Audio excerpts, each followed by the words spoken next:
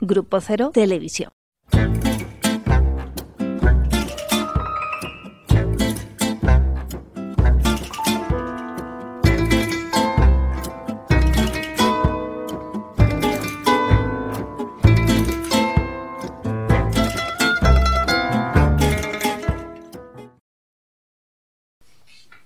Programa Ashra. Programa TEM. Programa 10. Para Arabia Saudí, Estados Unidos, Argentina y un poco para España. Programa número 10. Se llama Poesía más Poesía. Aquí están las artistas. Mirad, Bueno. mirad cómo se pinta a las 11 de la mañana un día domingo. Estamos perdidos, señores. Estamos perdidos. Poco a poco iremos leyendo la poesía al desnudo. ¿Eh? Sí, ¿Desnudo leyendo la poesía? sí. Sí, eso, desnudas. Uy, Claro, porque de Así esa manera. para que no se caiga nada. Así, en horizontal. Ay, qué bien, ¿verdad? Bueno, hay unos corpiños muy eróticos que tienen justo un agujerito en el pezón. Claro, porque no que tiene levantan las tetas y sale la. Ah, Sí, yo lo vi, lo vi. Lo vi el otro día en un bar. En un bar de, ¿Pero a qué, en qué en un bar de Cataluña. Por eso Ah. estamos en contra de Cataluña. Ah, bueno. Porque dejan usar esos sostén. Sí. Que se ve el pezón a las chicas, ¿no?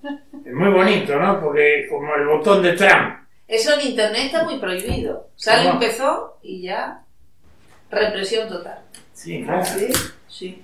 Sí. Bueno, pero el, Los pezones y el sexo masculino no pueden aparecer en televisión. el sexo masculino. ¿Cómo si Trump dijo que tiene un botón grande? Sí, pero un botón grande quiere decir que tiene una vagina, está operado, Uy, y uy, le uy. pusieron un clítoris grande. Oh. Ay, pobrecito. Bueno, pero por suerte nosotros... nos- Poesía más poesía. Un programa hecho a la medida de sus sueños. Si no tiene con qué darse, ponga la televisión Grupo Cero en poesía más poesía. Más que una droga, un sueño interminable. Más que el alcohol, una embriaguez genéticamente incomparable. No hay genes que contenga tanta sexualidad. Uf, Son genes psíquicos. Entra bien todo. Bien. Doy paso a la... Vicente Huidobro vemos hoy. Sí, hoy Vicente Huidobro y, Versus Miguel, el degenerado de su hermano, sí. Miguel Oscar Menaza. Oscar. Ojo, sí. Bueno, este señor Vicente Huidobro, Santiago de Chile, 1893, Cartagena, Chile también, 1948. Murió. Murió. Pobre, pobre. Digo joven. pobre. Sí. Que morir ¿Cuántos pobre es lo años? mismo que morir pobre. Pobre. Del Va que tenga. 93 Al 48. al 48. Cincuenta- 55 55 años. Un poco más que 55. parece que... Y qué mal Bueno, cosquilla. poeta chileno, entonces fundador del creacionismo, movimiento poético va- vanguardista. Fue además uno de los impulsores de la poesía de vanguardia en América Latina. Nació en el seno de una familia de la élite oligárquica vinculada a la gran propiedad agrícola, a la banca y a la política. Cursó la enseñanza primaria con institutrices privadas. Menaza, perdón, quiero hacer un pa. Menaza además era pobre. Ahora no porque me dedico a la prostitución masculina. Ay, qué sueño que tuve, Olga de Lucí. uy. Uy, uy, uy. Que me traías mujeres viejas para prostituirme. Un beso, 200 euros. Olguita me la traía de la mano, la viejita venía así caminando. La película de ayer. Pues no te creas que a lo mejor es negocio. Pero muy buen Es negocio. una buena idea, ¿eh? Pero ¿cómo era ese que iba eh, un beso 20, un este... Ah, una viejita, un un beso. No. Decía, en la cama, Sí, 500 euros. En el catre, 250. Y en el suelo, 100 euros. sí. Entonces una viejita que ve el cartel con un hombre muy hermoso, ¿no? Se va a la casa, rompe la alcancía y va y trae 500. 500 euros. Y entonces el tipo le dice, "Ah, así que te gustaría ir a la cama. No, no, quiero 10 del suelo.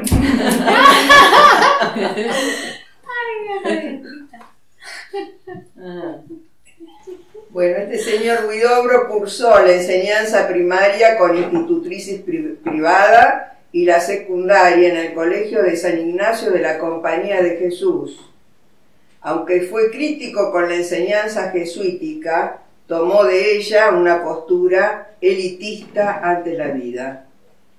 Los jesuitas no eran elitistas, tenía que haber buscado otro, sino otro, otro objetivo, el tipo ese. Bueno, Desde su juventud realizó frecuentes viajes por Europa que le valieron un profundo enriquecimiento cultural y una depuración de sus gustos estéticos, particularmente intenso desde la experiencia. Se puede interrumpir, a mí me pasó al revés. Yo cuando viajé a Europa eh, decaí. Ah, Sí, claro. Me volví más inculto, hablé peor el castellano. Sí, bueno, pero yo no tenía dinero.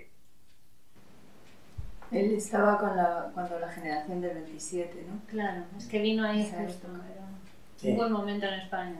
Anticipando la generación del 27. Bueno, vivió, residió en París, ciudad a la que llegó en 1916, en pleno desarrollo de la Primera Guerra Mundial. En la capital francesa conoció a literatos y artistas como Picasso, Juan Gris, Max Jacob y Joan Miró, entre otras figuras de la cultura del momento. Escribió en revistas literarias junto a poetas como Apollinaire, Pierre Reverdy, Tristan Tzara, André Breton y Luis Aragón, es decir, lo más granado de la poesía francesa del momento. Yo, ¿Con quién publiqué yo?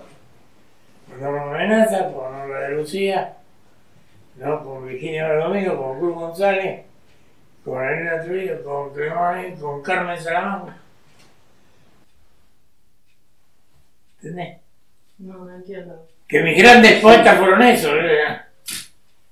Yo no, no escribí, con los grandes poetas eh, aprendí. Bajarlía, Tunión, Portogalo, pero no escribí con ellos. Mis compañeros de viaje fueron gente de pueblo. Bueno, pero abre una generación, ¿quién? eh, Menaza. Menaza abre una generación. Este se integra a una generación En que- realidad abre dos generaciones. La de mi papá y la de mi mamá. Me lo digo para quedar las cosas claritas. ¿eh? En 1927 en Nueva York, Huidobro solo andaba en antros modernos con Habla Chaplin. bien, habla bien argentino. Bueno, a este, ¿Qué en? Nueva York andaba en antros modernos con Chaplin o Gloria Swanson. ¿Acaso era eso ser un moderno igual que ser amigo en París de Dadaísta, Tristán Sara, de René Crevel, de nuestro Larrea o del músico Eric Satie? Era superficial. Porque Tristán Sara no tenía nada que ver con Reverdy. ¿No? Era relacionarse con cualquiera. Cualquiera, cualquiera. Pero Huidobro, cuyo primer libro... A mí me quiso llevar dos veces a Estados Unidos, Sí. todo pago. Y a Israel, todo pago. Yo no fui. Vine a España a morirme de hambre.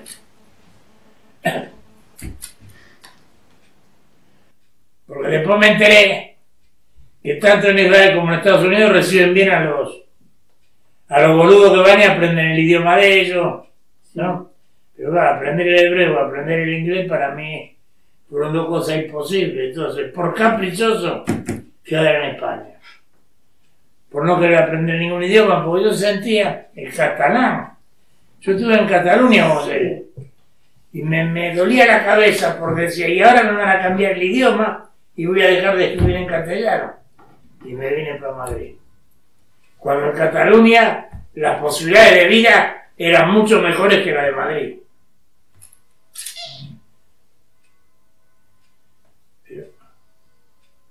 El castellano me mató. Pero fue tu prioridad, ¿no? ¿Cómo? Que fue tu prioridad. Sí, castellano. Sí, porque cuando además me propuse que los madrileños hablaran bien castellano, Claro. porque era el peor lugar del mundo donde se hablaba castellano. Nunca he oído hablar tan mal castellano como en Madrid. ¿Y dónde quedó el siglo de oro, no? ¿Qué Sí, pasó? bueno, pero eso pasó que se lo comieron, boluda. Porque vino Franco y hubo hambre. Ah, Entonces se comieron el siglo de oro, se comieron la canación del 27. Y, y Franco lo que dio fue muchos borrachos. Muchos borrachos. Yo iba al café Quijón porque quería conocer poetas, pero conocí muchos borrachos. Poeta conocí un palestino. ¿Entendés? Pero Huidobro, cuyo primer libro, todavía modernista, se editó en Chile en 1911 y se llamaba. Ecos del Alma, había estado en Madrid antes o a la vez con esta vanguardia ultraísta. Cancinos Asens, el poeta de los mil años, Gerardo Diego, tan nuevo entonces, Guillermo de la Torre. Desde su revista Creación, 1921, Guillermo de la Torre, si lo escuchás a hablar de Guillermo de la Torre lo odias. Pero claro, es según quién lo, quién lo toca, ¿no? Sí, Porque claro, la discusión es que si Huidobro plagió a De la Torre o De la Torre a Huidobro, ¿no? Se acusaban de... Bajar bien. de De la torre. Sí, eh, Bajarlía es a favor de Huidobro. No, de la Torre plagió a Huidobro. Claro. Por eso, Y Reverdí plagió a Huidobro. claro. Pero eso no tiene nada que ver. Mm. A mí me, me, me plagió este elegante, ¿cómo es? Gala. Gala, pero un montón de cosas. Almodóvar, me robaron un montón de cosas. Pero claro, como yo no patento nada, por ejemplo, ustedes son libres. Se pueden hacer lo que quieran, porque no tienen, no, no las marqué. Con no ¿Cómo se llama eso? La. Sí. ¿Eh? La Sí, la cuando pero nada. marcan al ganado. No, no les puse ni herraduras ni, ni marcas. Así que son libres. Pueden transformarse en mujeres cuando ustedes lo deseen. Desde su revista Creación, en 1921, Huidobro, muy amante de polémicas, discutió con Gerardo Diego por ver quién era el padre del creacionismo, el verdadero, ismo huidobriano. Diego, como de Neruda o Alberti, estos muy lejanos a Huidobro, hicieron una obra muy plural, con muchos registros, donde la imagen por la imagen y su subsuelo irracionalista es solo uno de los palos. Sin embargo, Huidobro, que nunca se sintió surrealista, es el verdadero rey de la imagen concatenada prodigiosamente en español y en francés. La revista Renacimiento sacó la poesía última de Huidobro, la que escribió en Chile huyendo de la Segunda Guerra Europea. Si uno lee Ciudadano del Olvido en 1941, casi su último y gran libro, no se encuentra el desengaño, como a veces se dice, sino un tono elegíaco en plenitud creacionista. Por ejemplo, un perfume salta de su color para darse a la niña. ¿Cabe creacionismo mayor? Desde sus juveniles poemas árticos o en francés, Torre Eiffel 1918, hasta su final chileno con 54 años, Huidobro fue solo la pura modernidad del prestidigitador, que se saca imágenes de todos lados, incluso para su epitafio, que dice, aquí yace el poeta Vicente Huidobro, abrid la tumba, al fondo de esta tumba se ve el mar. Bueno, si quieren leemos alguna poesía de los primeros años o... Sí. ¿Sí? Alguna poesía que tiene que ver con el mar. Bueno. Muy bien, sí, porque es un monumento al mar que es del final de su vida, del 48. ¿Cómo? El poema que vamos a leer es del final de su vida, de 48. Monumento al mar. Monumento al mar. Paz sobre las constelaciones, cantante de las aguas. Paz sobre la constelación cantante de las aguas, entrechocadas como los hombros de la multitud. Paz en el mar, a las olas de buena voluntad. Paz sobre la lápida de los naufragios. Paz sobre los tambores del orgullo y las pupilas tenebrosas. Y si yo soy el traductor de las olas, paz también sobre mí. He aquí el molde lleno de trizaduras del destino, el molde de la venganza con sus frases iracundas despegándose de los labios. He aquí el molde lleno de gracia, cuando eres dulce y estás allí hipnotizado por las estrellas.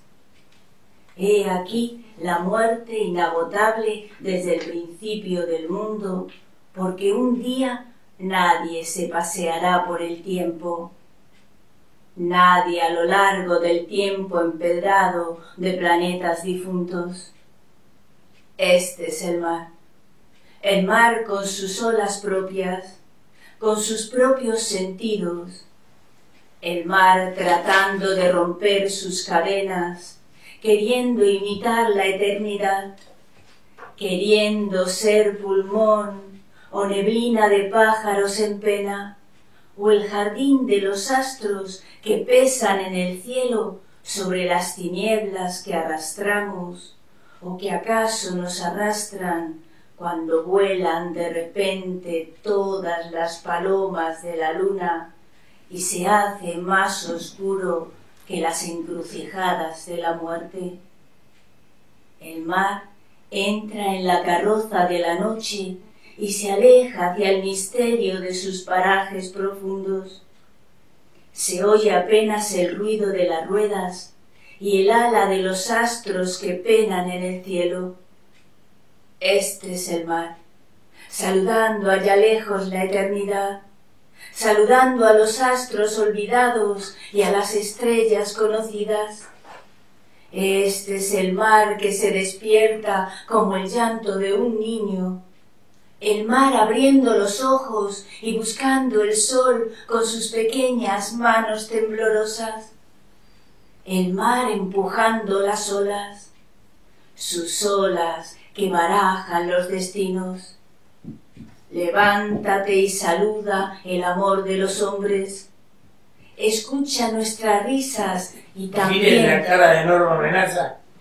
Miren la cara, por favor, de Norma Amenaza. Poniendo cara de lo que va a sobrevivir. Escuchando a Huidobro sintió que su poesía sobrevivirá.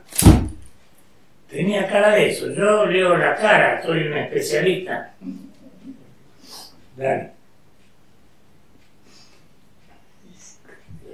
el mar empujando las olas, sus olas que barajan los destinos. Levántate y saluda el amor de los hombres. Escucha nuestras risas y también nuestro llanto. Escucha los pasos de millones de esclavos. Escucha la protesta interminable de esa angustia que se llama hombre. Escucha el dolor milenario de los pechos de carne y la esperanza que renace de sus propias cenizas cada día. También nosotros te escuchamos rumiando tantos astros atrapados en tus redes, rumiando eternamente los siglos naufragados. También nosotros te escuchamos cuando te revuelcas en tu lecho de dolor, cuando tus gladiadores se baten entre sí, cuando tu cólera hace estallar los meridianos, o bien cuando te agitas como un gran mercado en fiesta, o bien cuando maldices a los Parece que hombres. habla de un amante negro grandote, Sí. ¿no? Un negro de dos metros y medio cuando te agitas. Perdón, cuidado. o bien cuando maldices a los hombres, o te haces el dormido, tembloroso en tu gran telaraña, esperando la presa. Voluntarioso además el gigante. Sí. Sí, claro. Voluntarioso, un- tiene una voluntad de, de esto y lo otro. Lloras sin saber por qué lloras, y nosotros lloramos creyendo saber por qué lloramos. Sufres, sufres como sufren los hombres. Que oiga rechinar tus dientes en la noche y te revuelques en tu lecho. Que el insomnio no te deje calmar tus sufrimientos. Que los niños apedreen tus ventanas. Que te arranquen el pelo. Tose, tose, revienta en sangre tus pulmones, que tus resortes enmohezcan y te veas pisoteado como césped de tumba. Pero soy vagabundo y tengo miedo que me oigas. Tengo miedo de tus venganzas. Olvida mis maldiciones y cantemos juntos esta noche. Hazte hombre, te digo, como yo a veces me hago mar. Olvida los presagios funestos. Olvida la explosión de mis praderas. Yo te tiendo las manos como flores. Hagamos las paces, te digo. Tú eres el más poderoso. Que yo estreche tus manos en las mías y sea la paz entre nosotros. Junto a mi corazón te siento cuando oigo el gemir de tus violines, cuando estás ahí tendido como el llanto de un niño, cuando estás pensativo frente al cielo, cuando estás dolorido en tus almohadas, cuando te siento llorar detrás de mi ventana, cuando lloramos sin razón como tú lloras. He aquí el mar, el mar donde viene a estrellarse el olor de las ciudades, con su regazo lleno de barcas y peces y otras cosas alegres.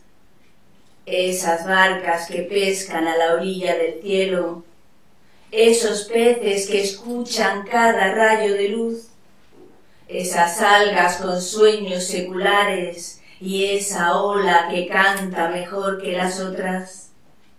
He aquí el mar, el mar que se estira y se aferra a sus orillas, el mar que envuelve las estrellas en sus olas, el mar con su piel martirizada y los sobresaltos de sus venas, con sus días de paz y sus noches de histeria. Y al otro lado, ¿qué hay al otro lado? ¿Qué escondes, mar, al otro lado? El comienzo de la vida, largo como una serpiente, o el comienzo de la muerte, más honda que tú mismo y más alta que todos los montes. ¿Qué hay al otro lado? La milenaria voluntad de hacer una forma y un ritmo, o el torbellino eterno de pétalos tronchados. He ahí el mar, el mar abierto de par en par. He ahí el mar quebrado de repente para que el ojo vea el comienzo del mundo. He ahí el mar. De una ola a la otra hay el tiempo de la vida. De sus olas a mis ojos hay la distancia de la muerte.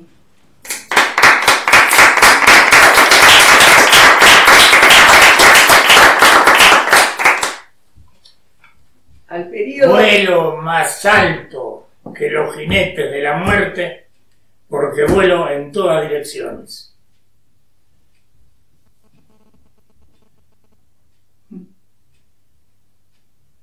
Y eso, este, Sí, Oscar ¿no? Menasa. Sí. No, lo, lo copié amenaza. No, eso pensaba, mucha representación asible, eh, hay mucha, ¿no? Sí, Nada que no son imágenes. Porque imágenes es un carro de guerra me atravesó la mirada.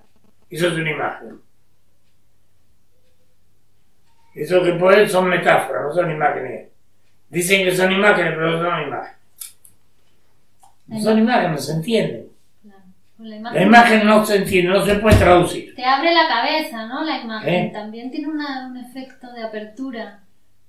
Sí, tiene algo de normativo. Pero él es muy... Sí, Al por periodo, no, Bueno, esta cuestión de la metáfora me parece pero, ¿no? interesante también, ¿no? con algunos errores. ¿Eh?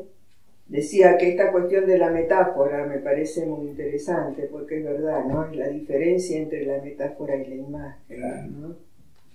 Mm. Su, su hermanito sirve con imágenes. Pajarlía un día hizo un, un, un cadáver exquisito con mi poesía, pero sacando imágenes, todo- una imagen detrás de otra puso. Como 50, 60.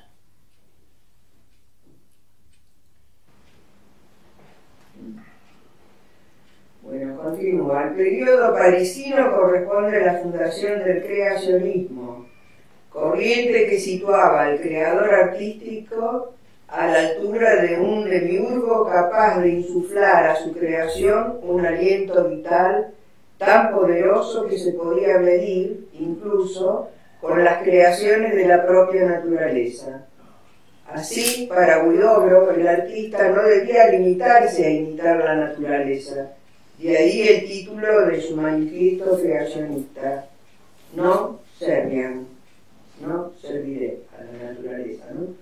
sino que debía mantener con ella una especie de competición en la que podía mostrar el vitalismo de su propia obra. La famosa tesis que sintetizó en la fórmula, ¿por qué cantáis la rosa, oh poetas? Hacedla florecer en el poema. Con estos presupuestos estéticos, Vicente Huidobro se presentó en Madrid en 1918, donde fundó un destacado grupo de poetas creacionistas consagrados a la elaboración de textos que seguían fielmente los, los postulados del ya respetado maestro chileno. Por aquel entonces ya era un poeta fecundo que arrastraba tras sí una interesante producción literaria seis poemarios impresos en su país natal, que eran Ecos del Alma, La Gruta del Silencio, Canciones en la Noche, Pasando y Pasando, Las Pagodas Ocultas y Adán. Uno aparecido en Buenos Aires, que es El Espejo del Agua, y otro publicado en París, L'Horizon Carré. A ellos se añadirían pronto cuatro nuevos poemarios, poemas árticos, Ecuatorial, Tour Eiffel y Jalali. Entre el 16 de mayo y el 2 de junio de 1922, Vicente Huidobro presentó una exposición de 13 poemas en forma de caligramas en el Teatro Eduardo VII de París. En el catálogo de la exposición estaba su retrato dibujado por Picasso y una crítica elogiosa de sus poemas escrita por el español Gerardo, Diego. Su aceptación en París fue un éxito personal y de Chile, favorecido por el hecho de que el poeta escribiera indistintamente en francés y en español. Regresó por un largo periodo a Chile en 1925. Desde su llegada inició una intensa actividad literaria y política. con la fundación de la revista La Reforma y sus numerosas colaboraciones en Andamios, Panorama y Ariel. En el terreno político fundió- fundó un diario, Acción, desde el que defendía sus ideas contrarias al militarismo. Candidato a presidente, fracasó estrepitosamente en los comicios de 1925, lo que le causó no poca amargura. Ah, Esto no lo sabía, ¿no? Candidato a presidente se presentó. pero no, también fue candidato a presidente. ¿Quién? El, 40 y- el, el 60% de la guerrilla argentina luchaba para que su hermano fuera presidente de la República. Y no fracasó. ¿Sabe por qué? Porque él nunca quiso ser presidente de nada. Por eso no fracasó. Yo puedo decir que no fracasé nunca. Sí.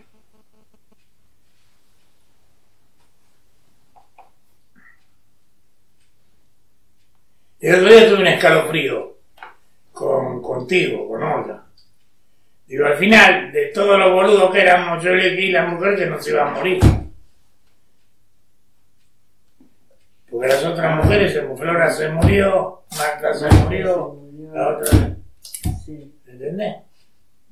Que no fracasé nunca, nunca. No. Mira, me interné en el mismo hospital que Pony Micharvegas, un gran poeta argentino, camarada, ¿no? Yo me interné, estuvimos internados juntos, salimos luego del hospital. Después me internaron a mí otra vez, no sé por qué motivo, que yo sentí que me quería matar pero soporté. Eh, volvió a internarse él y lo mataron. No fracasé nunca, ¿no? Porque hubo que luchar contra los médicos y además la, quiero decir que la, la embajada Ruiz Jiménez, del hospital Ruiz Jiménez, ¿no? Los médicos van por la sala tratando de que los pacientes se operen. A mí me quisieron operar de cuatro cosas, del pulmón, de la carótida y de la concha de mi madre. ¿Sabe por qué? Porque van con un porcentaje de las operaciones.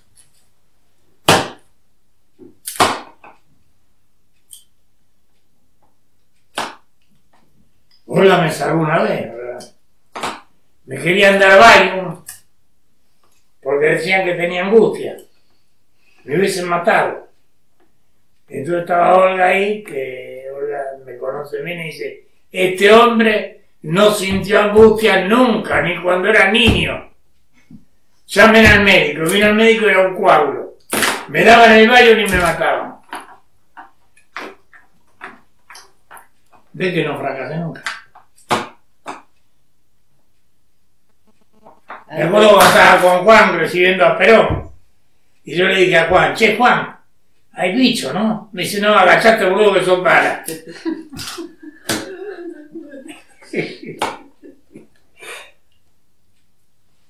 Soy un triunfador. Por eso los periodistas del país, que son todos fracasados y un poco impotentes. Porque yo me, me follé a varias mujeres de ellos. Pero eh, no lo quiero, no, no lo quiero decir, no lo dije, ¿no? No, no, no. Pero desesperada la pobre porque, ¿no? No, no son impotentes de la, de, de- del miembro viril. Son impotentes de todo, del habla, de todo. Pero yo digo, pero no tiene, yo sí tiene elección, pero no sirve para nada, me dijo una vez. Así que tengan cuidado. Tengan mucho cuidado lo que buscan en la vida. Volvemos a 1930. Bueno, dale. Todavía no nací. Alrededor de 1930 fue cuando dio los toques finales a sus dos obras cumbres, dos poemarios que desde el movimiento mismo de su, que desde el momento mismo de su aparición estaban llamados a situarse en los puestos más altos de la literatura universal. Por aquel entonces Huidobro estaba en el apogeo de su fama y gozaba del éxito obtenido por su novela fílmica Miocid Campeador, 1929. aquel propio poeta que alargaba de ser descendiente de Rodrigo Díaz de Vivar, el citador, identificaba su relación amorosa con Jimena Amunategui como una reencarnación moderna de la pareja formada por el Cid y Doña Jimena. La peripecia que había dado lugar a esta unión no puede ser más rocambolesca. En 1925, coincidiendo con su regreso a Chile y su fracaso en el intento de tomar parte activa en la política de su país, el gran poeta había conocido a Ximena, una joven estudiante de 15 años ¿eh? de edad, por la que abandonó a su mujer, con la que llevaba casado más de 15 años y a sus hijos. Eso para amenaza está prohibido. Nunca acaricia a una mujer menor de 30 años. Porque de 30 años ya son mayores de 18. No. Una mujer se hace mayor a los 30 años. Por eso que las que se hacen mayores a los 15, violadas por poetas como ese, mueren jóvenes. Las mujeres que yo amo son mujeres que viven muchos años porque yo las considero jóvenes a partir de los 30 años y utilizables a partir de los 45, ¿no? Quiere decir que de los 30 a los 45 les enseño cómo es el amor. Me tomo más trabajo que yo, ¿viste? Claramente. Son siempre 15 años más jóvenes entonces sus mujeres. ¿Cómo? 15 años más jóvenes son sus mujeres. De los 15 a los 30 hay una laguna memoriosa, digamos. Sí. ¿No? Entonces ya de ahí mordieron 15 Sí, años. si violas a una chica de 15 años, si la más, si la conservás, y como dice el poema, la chica le dice al tipo, ¿serás capaz? Tu amor aguanta que yo me vaya y crezca para que tú después puedas amarme. Ah. Bueno, Ximena, Jimena, no solo era menor de edad, sino hija de un poderoso prócer chileno, quien se opuso tajantemente a su unión con el poeta. Huidobro marchó entonces a París, cerró la casa de Montmartre, donde había residido con su familia, y se trasladó a Nueva York, donde cosechó algún éxito como escritor de guiones cinematográficos. Pero en 1928, cuando Jimena Amnategui acababa de alcanzar la mayoría de edad, el poeta viajó a Chile, la raptó a la salida del liceo y se marchó de nuevo a París, en donde la feliz pareja se instaló en el barrio de Montparnasse. Fueron aquellos unos años de plenitud amorosa y creativa para el poeta, quien después del mencionado éxito de su versión del Cid, decidió retomar un largo y ambicioso proyecto en el que había empezado a trabajar 10 años antes. Se trata de Altazor o el viaje en paracaídas, un poema mayor en siete cantos que narra la caída del hombre y el encuentro con la mujer, con la poesía. Junto con Temblor de Cielo, acababa también por aquellas fechas, es la obra cumbre del creacionismo y el mayor legado de Huidobro a la poesía. Después leemos Altazor, ¿no? Vamos, adelante, a ver qué dice Altazor. El canto 2. Mujer, el mundo está mueblado por tus ojos. Se hace más alto el cielo en tu presencia. La tierra se prolonga de rosa en rosa y el aire se prolonga de paloma en paloma. Al irte dejas una estrella en tu sitio, dejas caer tus luces como el barco que pasa, mientras te sigue mi canto embrujado como una serpiente fiel y melancólica, y tú vuelves la cabeza detrás de algún ro- astro. Qué bien, che. Perdón, como una serpiente fiel y melancólica, y tú vuelves la cabeza detrás de algún astro. ¿Qué combate se libra en el espacio? Esas lanzas de luz entre planetas, reflejo de armaduras despiadadas. ¿Qué estrella sanguinaria no quiere ceder el paso? ¿En dónde estás, triste noctámbula, dadora de infinito, que pasea en el bosque de los sueños? Heme aquí perdido entre mares desiertos, solo como la pluma que se cae de un pájaro en la noche. Heme aquí en una torre de frío, abrigado del recuerdo de tus labios marítimos, del recuerdo de tus complacencias y de tu cabellera luminosa y desatada como los ríos de montaña.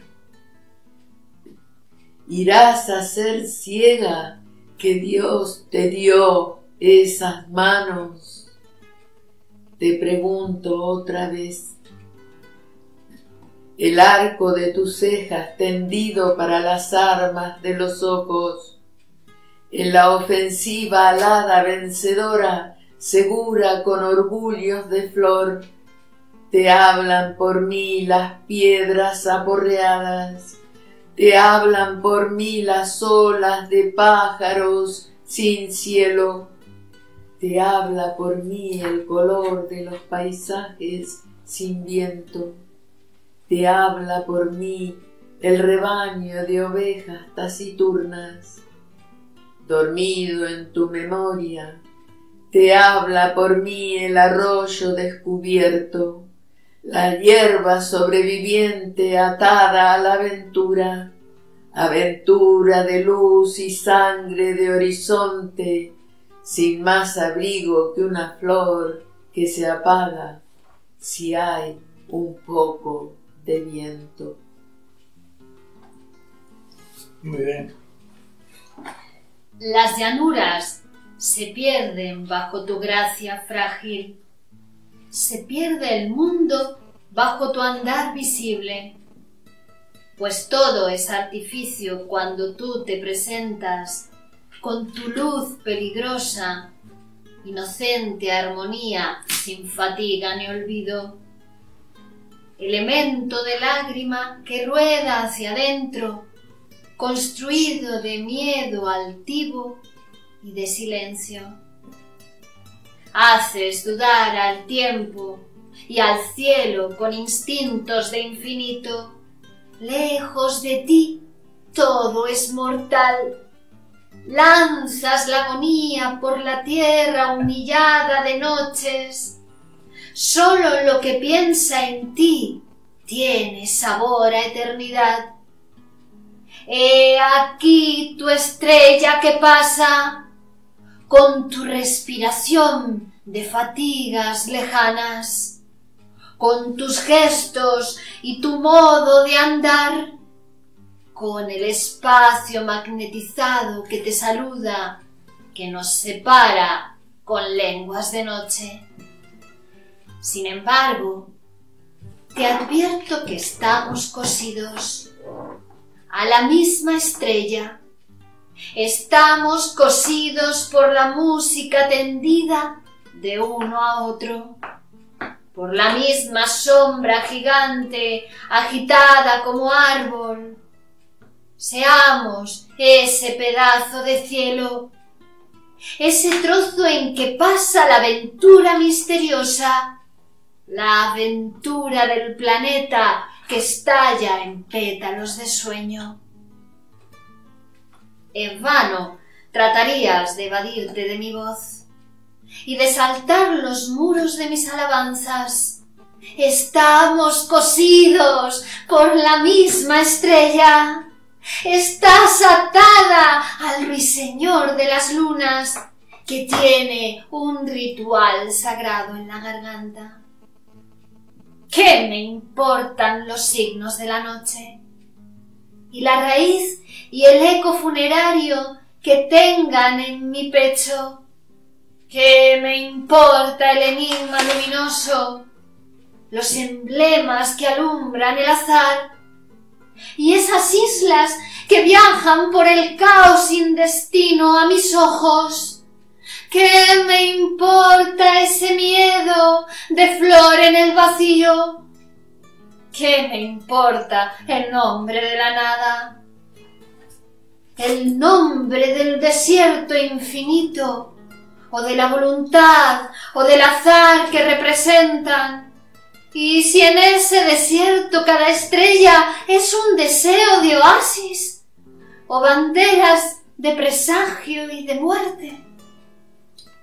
Tengo una hermosa. Yo digo una cosa, pero eh, a nosotros, no sé a ustedes, a todos lo que sois, que soy, ¿no?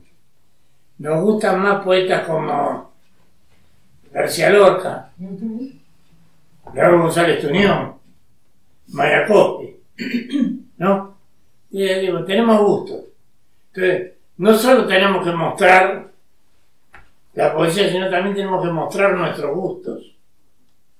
¿no?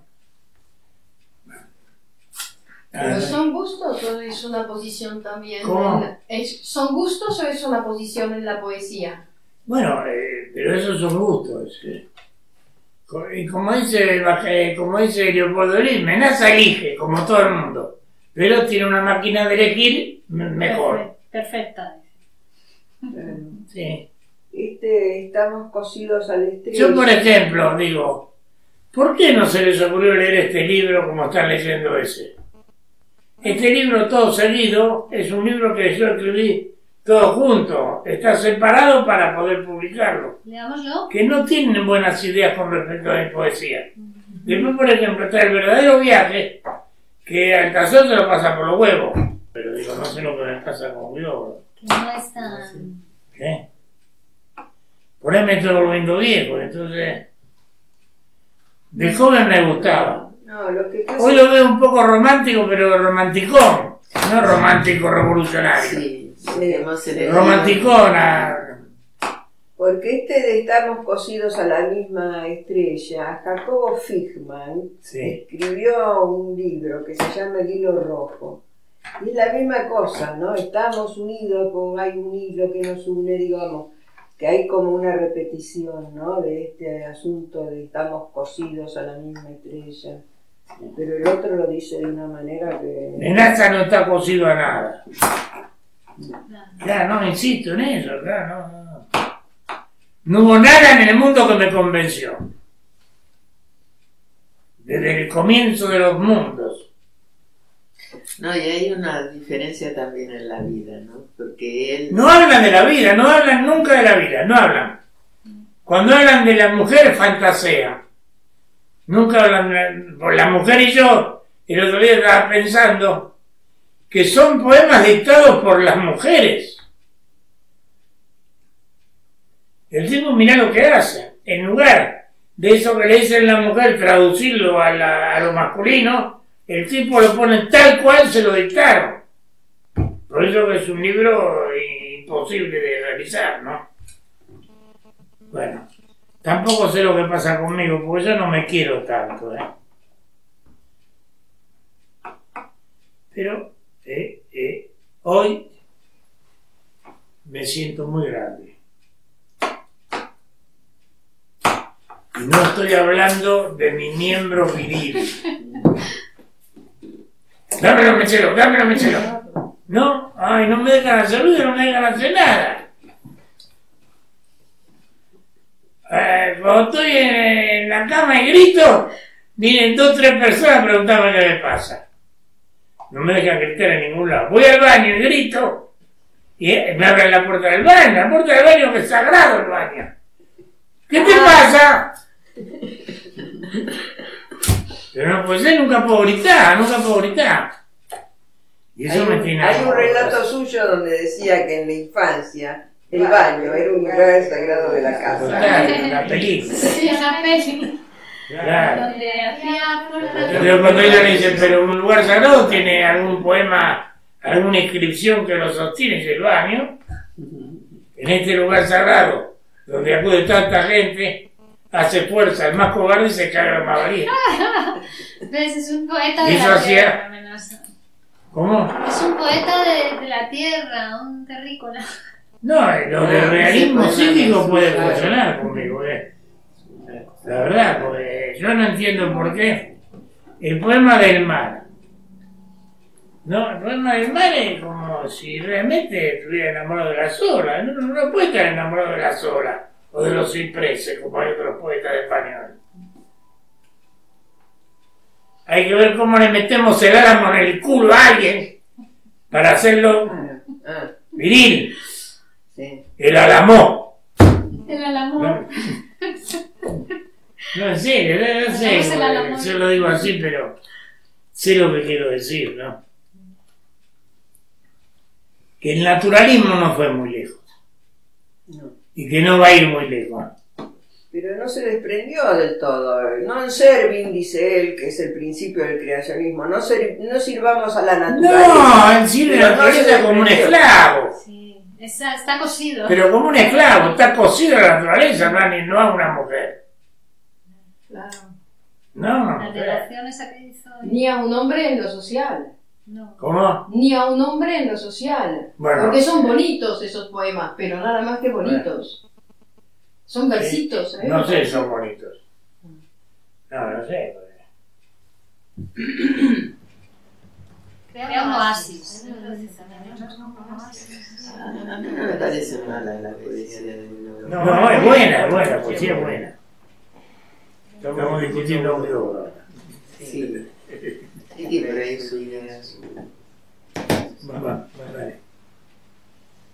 Continuamos. Sí, por favor, continúa. Ah, ¿no? Sí. Tengo una atmósfera propia en tu aliento, la fabulosa seguridad de tu mirada con sus consideraciones íntimas. No es el aliento formando la atmósfera, es la atmósfera formando el aliento. Pido perdón por la gente, pero eh, no es el aliento haciéndose atmósfera, es la atmósfera en el aliento.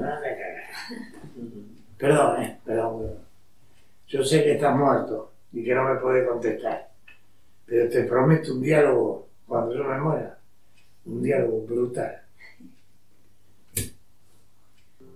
con su propio lenguaje de semilla, tu frente luminosa como un anillo de Dios, De bien. más firme que todo en la flora del silencio, sin torbellinos de universo que se encabrita como un caballo a causa de su sombra en el aire. Te pregunto otra La vez. de silencio es una. ¿Irías a ser muda que Dios te dio esos ojos? Tengo esa voz tuya para toda defensa, esa voz que sale de ti en latidos de corazón, esa voz en que cae la eternidad y se rompe en pedazos de esferas fosforescentes. ¿Qué sería la vida si no hubieras nacido?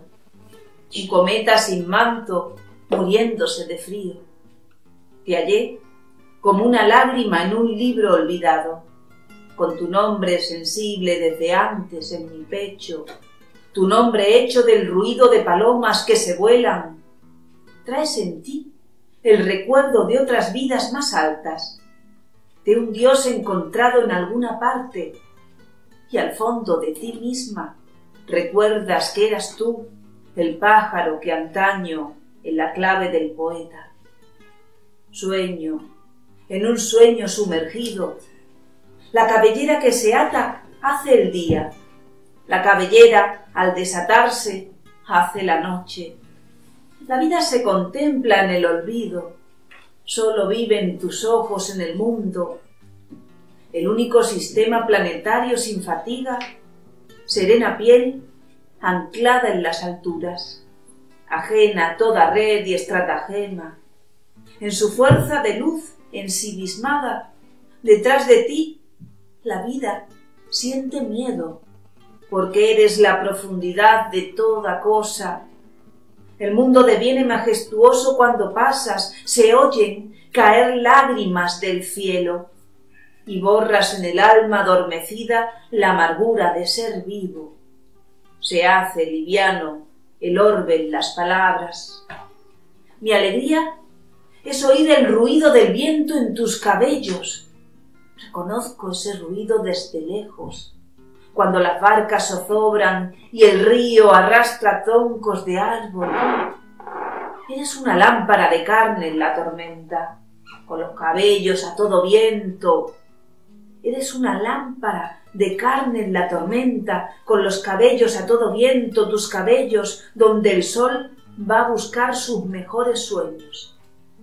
Mi alegría es mirarte solitaria en el diván del mundo, como la mano de una princesa soñolienta, con tus manos que evocan un piano de olores, una bebida de paroxismos, una flor que está dejando de perfumar. Tus ojos hipnotizan la soledad, como la rueda que sigue girando después de la catástrofe. Sí, por favor, quiero, que le saquen una foto a la rosa marchita. ¿Eh? Y lo ponen. Las flores se marchitan, los cuadros pueden durar toda la vida. ¿Eh? Por favor, mira, mira. La dejé marchita ahí porque se agarra una foto. Pero, pero hacia adelante. Mi alegría es mirarte cuando escuchas ese rayo de luz que camina hacia el fondo del agua y te queda suspensa largo rato. Tantas estrellas pasadas por el arnero del mar. Nada tiene entonces semejante emoción, ni un mástil pidiendo viento, ni un aeroplano ciego palpando el infinito, ni la paloma demacrada dormida sobre un lamento, ni el arco iris con las alas selladas más bello que la parábola de un verso, la parábola tendida en puente nocturno de alma a alma. Nacida en todos los sitios donde pongo los ojos, con la cabeza levantada y todo el cabello al viento, era más hermosa que el relincho de un potro en la montaña que la sirena de un barco que deja escapar toda su alma, que un faro en la neblina buscando a quien salvar. Era más hermosa que la golondrina atravesada por el viento. Eras el ruido del mar en verano. Eras el ruido de una calle populosa llena de admiración mi gloria está en tus ojos, vestida de luto de tu... Perdón. No, ¿sabes lo que pasa? El tipo está confundido ideológicamente. Él, él se maravilla cuando ella lo escucha. Cuando la maravilla moderna es que algún hombre pueda escuchar a alguna mujer. Es antiguo. Yo le, por eso que nos produce una sensación de que escribe bien, pero que escribe mal. No escribe mal, pero es activo. Lo dice ahí al empezar el poema. sí. Me maravillo al escucharte, ¿no? Mi alegría es mirarte cuando escuchas. ¿Ves? No, mi alegría es mirarte cuando te escucho. Pero Sigo. yo sé que usted es francesa y anda mucho gloro por su estadía en París. Por lo bilingüe. Mi gloria está en tus ojos, vestida de lujo de tus ojos y de su brillo interno. Estoy sentado en el rincón más sensible de tu mirada, bajo el silencio estático de inmóviles pestañas. Viene saliendo un augurio del fondo de tus ojos y un viento de océano ondela tus pupilas.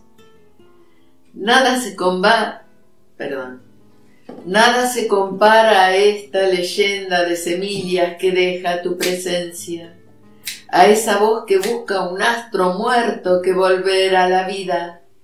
Tu voz hace un imperio en el espacio, y esa mano que se levanta en ti como si fuera a colgar soles en el aire, y ese mirar que escribe mundos en el infinito, y esa cabeza que se dobla para escuchar un murmullo en la eternidad, y ese pie que es la fiesta de los caminos encadenados, y esos párpados donde vienen a vararse las centellas del éter, y ese beso que hincha la proa de tus labios, y esa sonrisa como un estandarte al frente de tu vida, y ese secreto que dirige las mareas de tu pecho, dormido a la sombra de tus senos.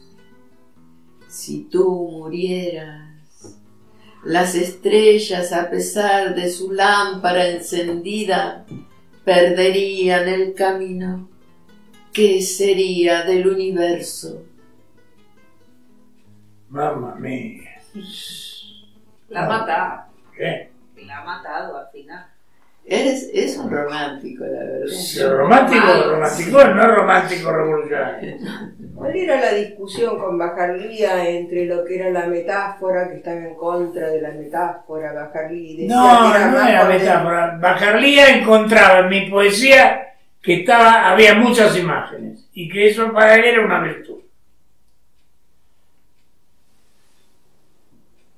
Encontrando.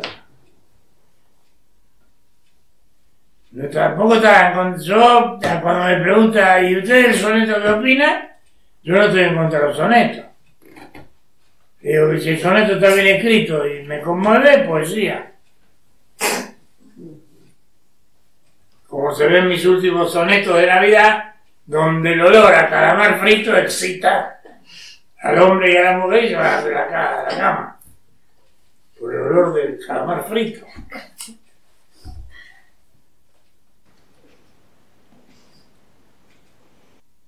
No huyo del mar, lo abandono. Dice Menas, es lo único que dice del mar en toda su vida. Y un día el mar, dice. Sí, el mar lo trae mucho.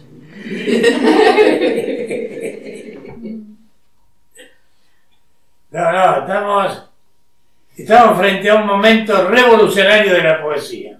A mí me parece que sí. Ustedes, con esa cara estúpida que tienen, pueden ser las transformadoras de la poesía universal. Si se animan a escribir, claro. Y si sí. Porque es una concepción nueva de la vida que tenemos. El inconsciente, al proyectarse en nosotros, nos da otra dimensión de la humanidad. Me he vuelto a quedar. Bueno, a veces se suicidó porque no pudo soportar el inconsciente en su obra. Está bien, se suicidó porque no podía forzarse a las mujeres que amaba. Pero también estaba el inconsciente en su obra que no lo soportó.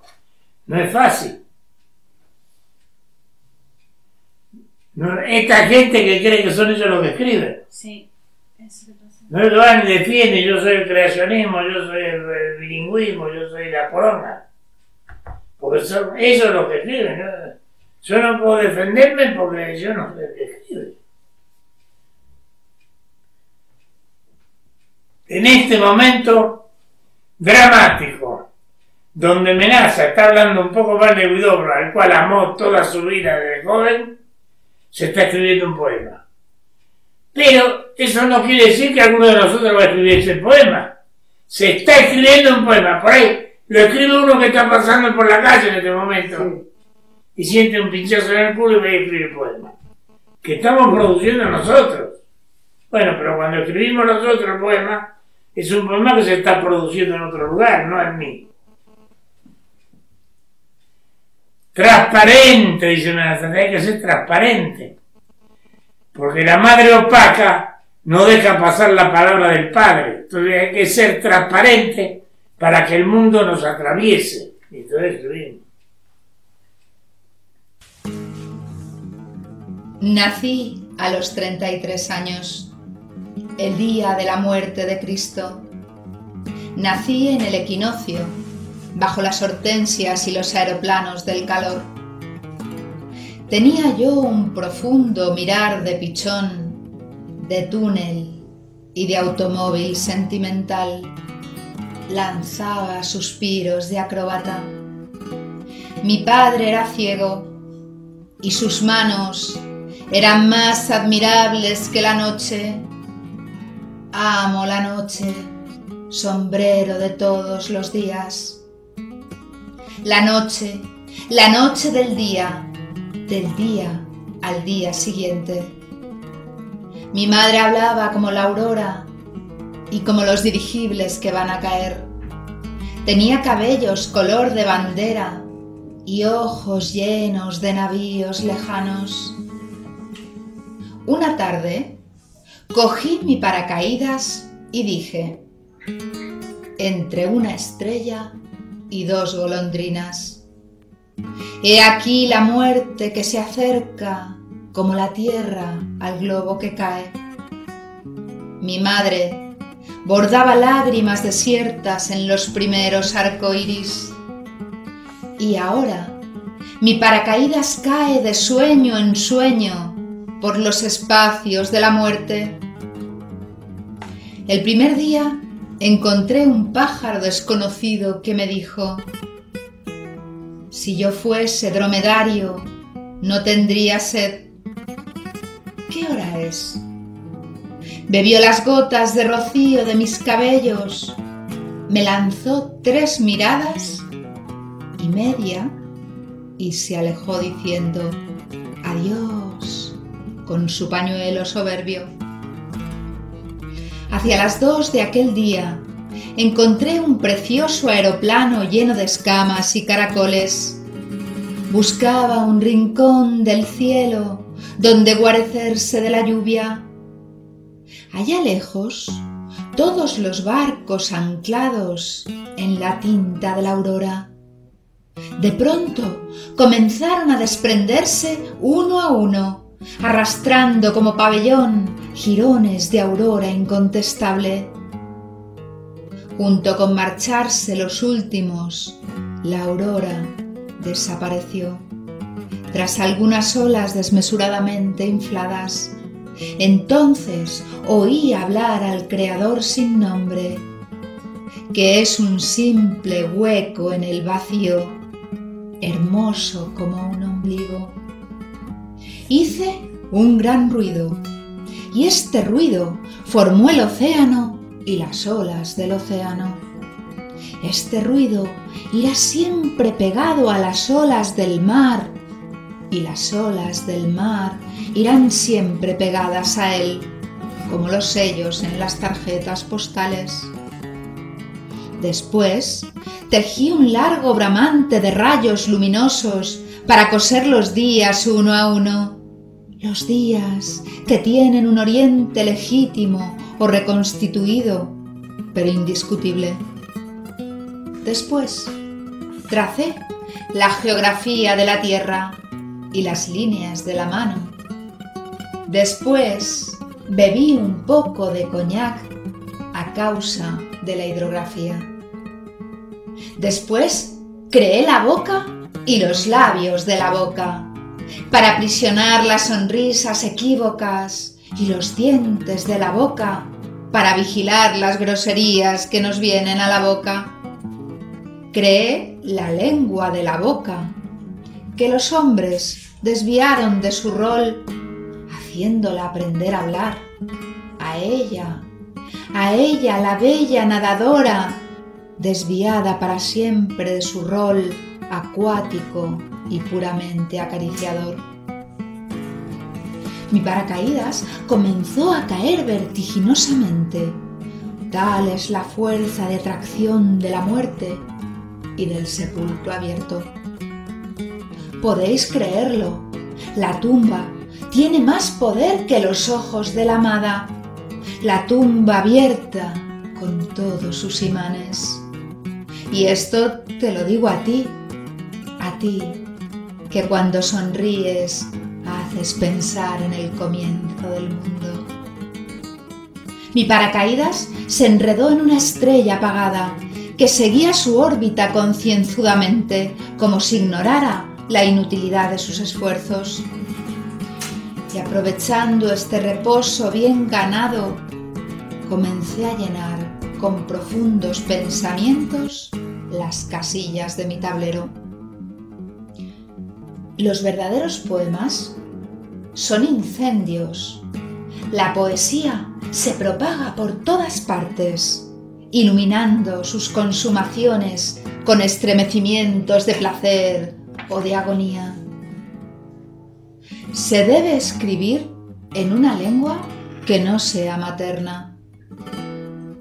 Los cuatro puntos cardinales son tres, el sur y el norte.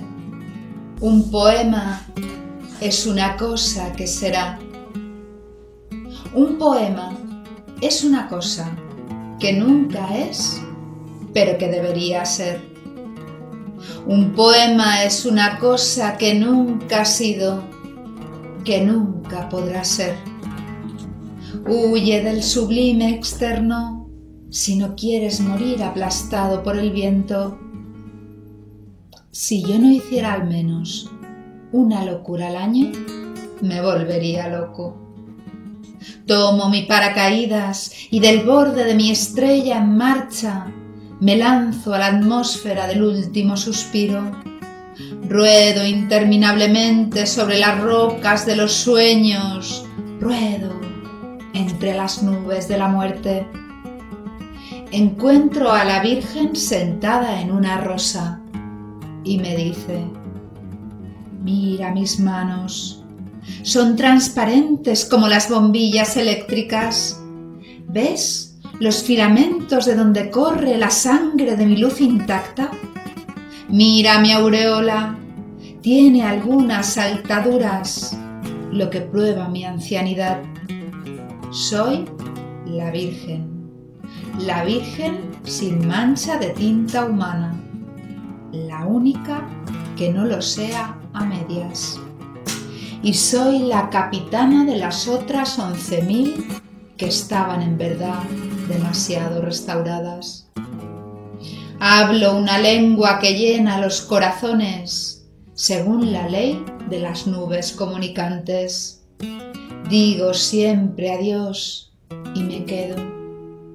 Ámame, hijo mío, pues adoro tu poesía y te enseñaré proezas aéreas. Tengo tanta necesidad de ternura. Besa mis cabellos. Los he lavado esta mañana en las nubes del alba y ahora quiere dormirme sobre el colchón de la neblina intermitente. Mis miradas son un alambre en el horizonte para el descanso de las golondrinas. Ámame, me puse de rodillas en el espacio circular y la Virgen se elevó y vino a sentarse en mi paracaídas. Me dormí y recité entonces mis más hermosos poemas. Las llamas de mi poesía secaron los cabellos de la Virgen, que me dijo, gracias, y se alejó sentada sobre su rosa blanda. Y heme aquí, solo, como el pequeño huérfano de los naufragios anónimos. ¡Ah! ¡Qué hermoso! ¡Qué hermoso! Veo las montañas, los ríos, las selvas, el mar, los barcos, las flores y los caracoles. Veo la noche y el día y el eje en que se juntan.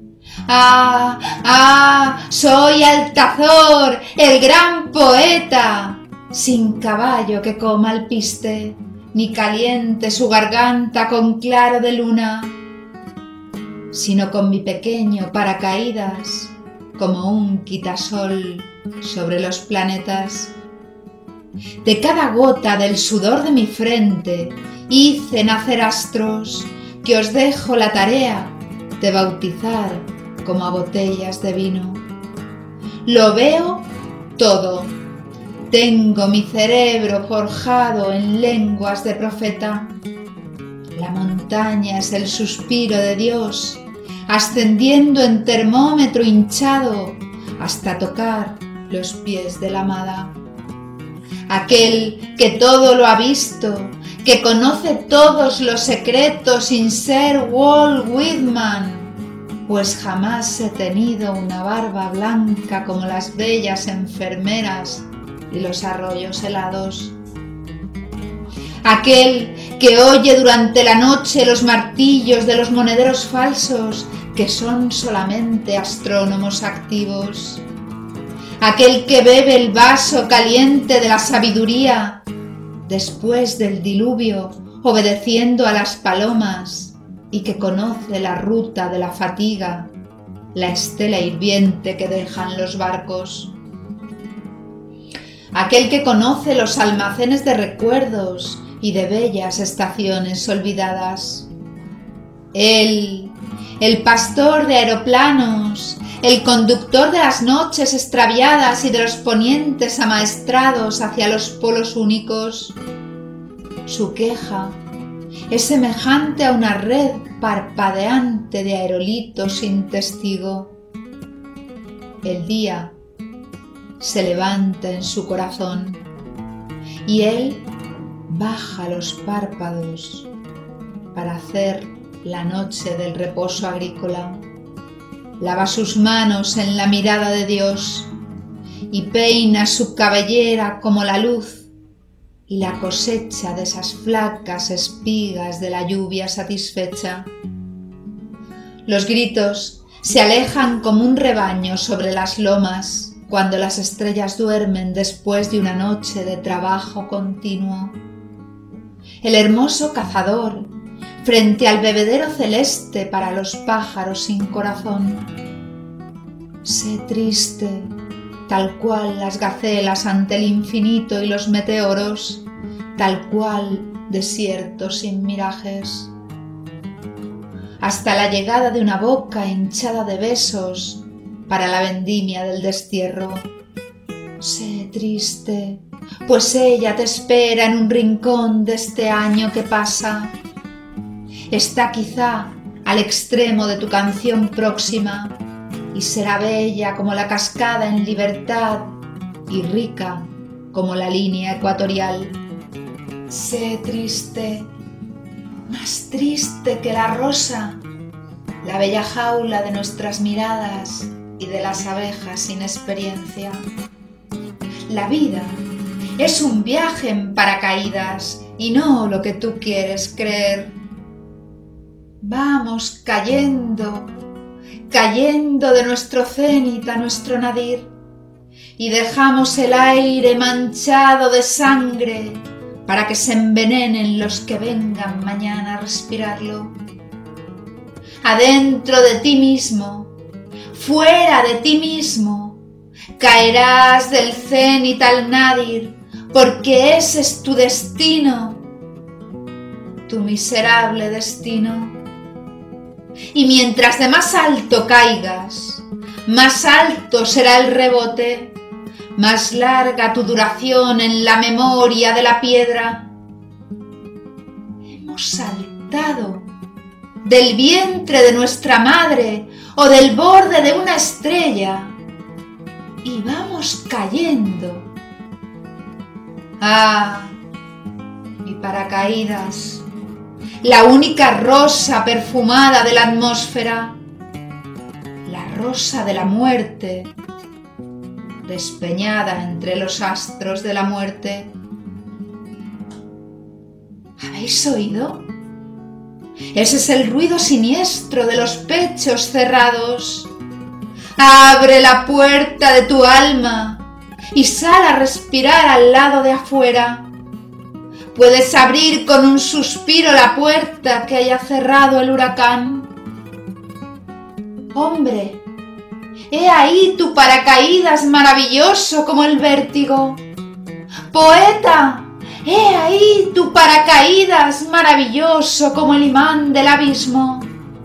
Mago, he ahí tu paracaídas que una palabra tuya puede convertir en un parasubidas maravilloso, como el relámpago que quisiera cegar al Creador. ¿Qué esperas? Mas, he ahí el secreto del tenebroso que olvidó sonreír. Y el paracaídas aguarda amarrado a la puerta, como el caballo de la fuga interminable.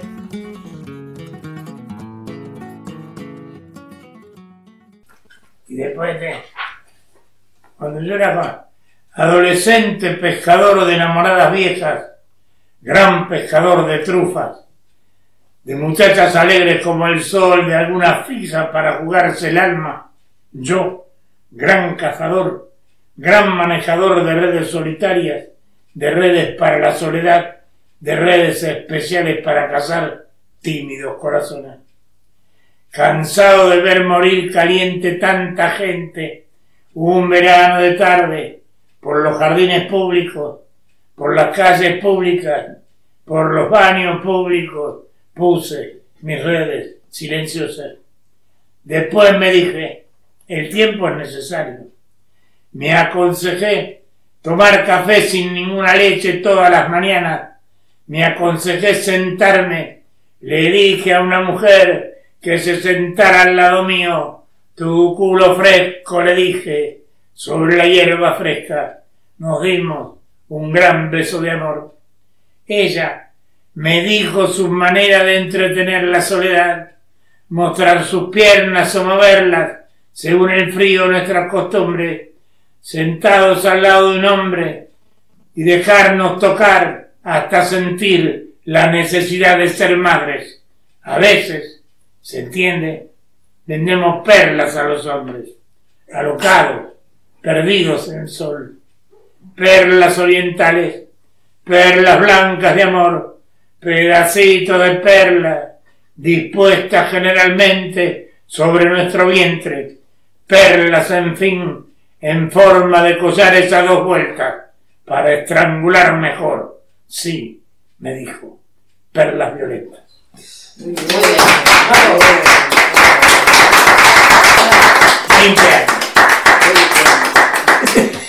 Entramos en nuestro espacio. Miguel Oscar Menaza brinda el perfil de un hombre del Renacimiento.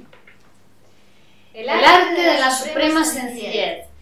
El código que puede ser compartido por una gran mayoría es fruto de una trayectoria tras la cual se adivina el optimismo trágico de un creador singular. Sus producciones le colocan en la vanguardia del pensamiento contemporáneo. Además de sus múltiples ocupaciones y actividades, Miguel Oscar Menaza es un autor prolífico. Desde 1961, fecha en que aparece su primer libro, Pequeña Historia, ha publicado casi todos los géneros literarios, poesía, novela, ensayo, textos científicos de investigación y divulgación, guion cinematográfico, aforismos, canciones. Aunque Menaza es fundamentalmente poeta.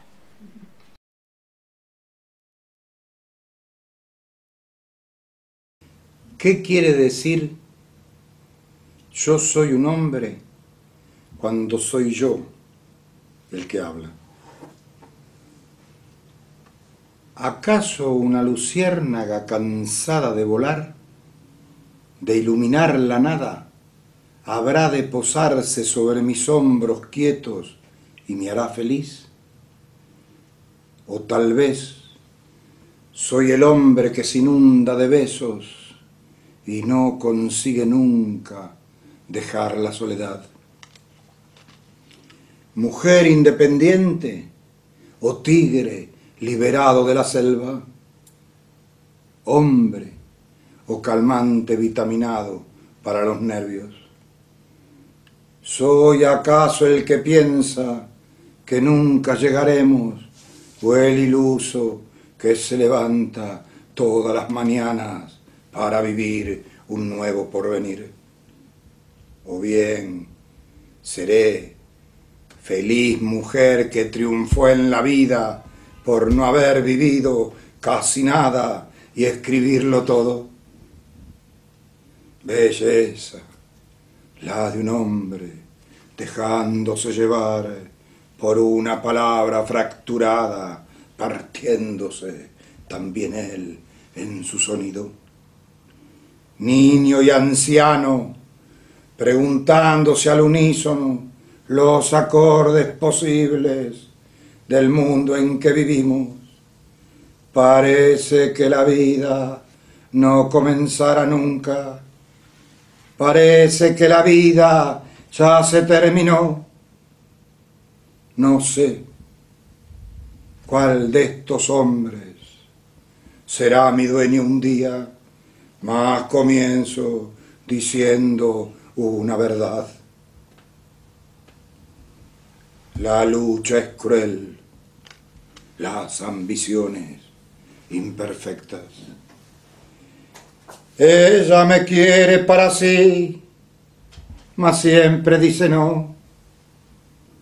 Después, cuando se duerme, cansada de luchar, sueña que el mundo se detiene a su lado. Y ella abre las piernas, abre sus piernas y ya quisiera ser totalmente del mundo. Y ya quisiera que el mundo se haga carne y el mundo ensombrecido, sueño, prisión, desaparece. Y ese pozo sin luz, ese vacío, es justamente lo que la mujer ama. Un hombre que no sabe reír cuando se ríe, que no sabe llorar aunque lo diga un tango. Un hombre sin círculos ni rectas, un ave más María que no sabe volar. Después, un día, un santo me bendice y ya soy otro más, también bendito. Abandono mujeres y espacios deportivos, me arrodillo sobre dura piedra invernal y rezo continuos avatares de mi vida. Cuánto dolor, Señor, lleva mi alma cuando me toca en suerte un amo que no quiere ser mi amo y solo me usa y me desprecia. Hay mujeres en mí que aman la vida y mujeres que aún no han comenzado a amar y otras que se fueron y otras que vinieron y otras que volaron hasta llegar al alma que no tengo y plantaron lo que no tenían, en donde nada había y construyeron un amor verdadero pero invisible. Nadie veía nada, nadie tocaba nada, mas todos oímos el estruendo de horror del verdadero amor desapareciendo. Y hubo hombres en mí que desde la mañana ya estaban satisfechos y cansados y se quedaban acostados, quietos, como muertos, esperando que alguien los amara. Y alguien los amó. Droga o mujer sin rumbo. Y el pobre hombre que ya no sabía hablar, se quedó ahí donde había estado siempre, toda su vida quieto, como muerto. Mujeres, hombres, perfiles de panteras, cocodrilos hambrientos y volcanes en flor, la ciudad ciudadana, la ciudad selvática, el viento de la música, la densidad de la palabra, se abren en mí, ponen mi alma a florecer a los sonidos de los tambores libertarios del sexo y la locura. Sexo de la deriva que nada ama. Locura de la flor que nadie ha conocido. Sexo de las corrientes cataclísmicas. Locura es la quietud en tu mirada. Nada nos será dado de la libertad sin arrancarla de nuestros corazones. Sexo que no consiguió sino el poema, locura que brilló solo un instante. Después de 56 años desde su primer libro, con semejante intensidad, parecería que ya nada puede sorprendernos en su escritura. Pero no es así. Ha tratado prácticamente todos los temas que atañen al ser humano y lo ha hecho con múltiples enfoques, sin olvidar nunca los dos pilares que articulan su imaginario de escritor, la poesía y el psicoanálisis. Por eso, la escuela de psicoanálisis que dirige en Madrid desde hace 36 años se llama Escuela de Psicoanálisis y Poesía Grupo Cero una unión que cabalga sobre la meseta castellana desde 1976, año en que Menasa aterriza en Madrid procedente de Buenos Aires. Fueron palabras, todos mis odios, todos mis amores, el sexo y la locura fueron palabras hasta la libertad.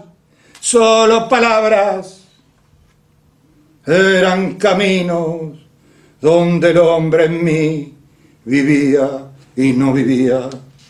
Se retorcía de dolor y al mismo tiempo la alegría le escalaba los huesos.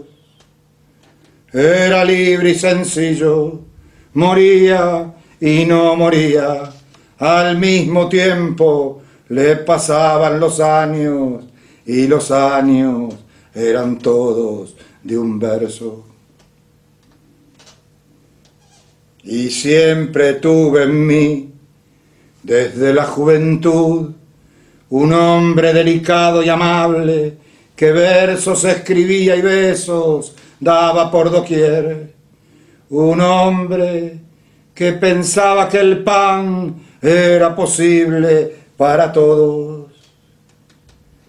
Y ese hombre luchó en todas las batallas, queriendo cambiar el orden de las cosas, se levantaba y desde temprano al alba ya quería que el mundo fuera otro.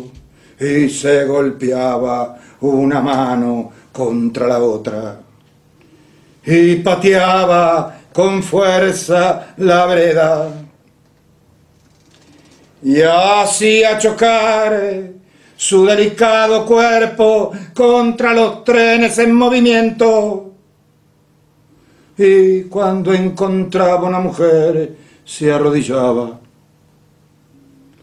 Y no era que quería rezar o lo supiera hacer, era para pedir perdón que inclinaba su ser frente a la Virgen, nunca pudo amarla, solo la temía. Ella en mí se encontraba y desaparecía. Mas cuando asentaba su poder sobre mí, estaba todo el tiempo pero invisible, y no era que el sexo se podía o no se podía.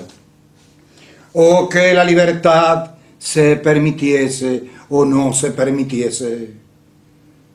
Sexo, locura y libertad tienen en común que cuando se dejan caer sobre los hombres, cuando consiguen invadir sus células, cuando penetran por su respiración, cuando contaminan todos sus decires, lo hacen con tal fuerza, con tal soberbia ganadora, que el hombre, el hombre poderoso, el de las armas hasta el corazón, cual leve mariposa, es capaz de morir libre, enamorado, totalmente loco. Y la mujer que todo aprende, aunque no diga nada, y que no quiere morir, aunque se muera, decide vivir libre, enamorada, loca, aunque nadie se lo permita o quiera. Acostumbrados nos tiene Menasa a malabarismos en la cuerda floja, saltos y caídas en el tirauzón sangrante de la poesía, mientras el público tiembla con el corazón en un puño. Acostumbrados a morir de risa con la simple mueca del payaso que nos habita y también a vivir del llanto derramado en manos ausentes.